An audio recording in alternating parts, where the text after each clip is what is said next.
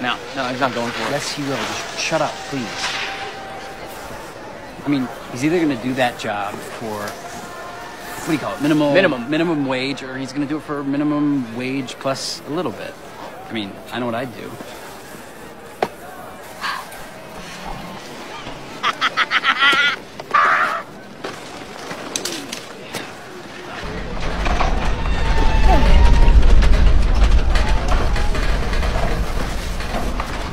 Girlfriends? What's up?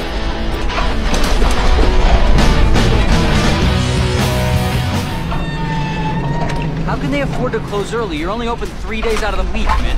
Why don't you write a letter? Why don't you give me my money back? what money?